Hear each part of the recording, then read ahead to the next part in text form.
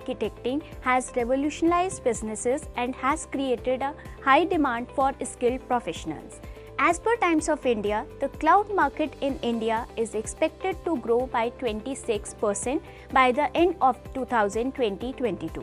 And if you are an IT aspirants looking for a future-oriented career in cloud architecture, this video is for you. Hi, my name is Ankita Mendiratta and I am a faculty member at Symbiosis Center for Distance Learning. I'll be talking about the certificate course in AWS Solutions Architect Associate course offered by SCDL. The duration of this program is 3 months and it is taught in collaboration with AWS Academy through which students get to glimpse into the way their infrastructure have been designed and kind of strategies and services have been implemented.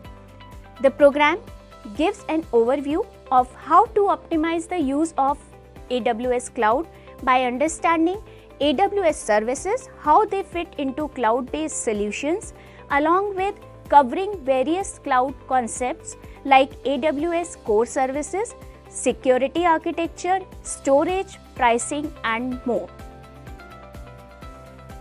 Students also get to practically implement what they learn through sessions in form of small workshops led by the industry experts from the cloud architecture domain.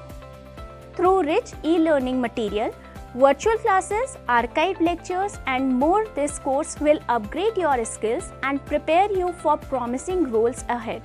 One of the most important benefit of this course is it's a dual certificate program which means that after completion you will receive certificate from SCDL as well as from the AWS Academy.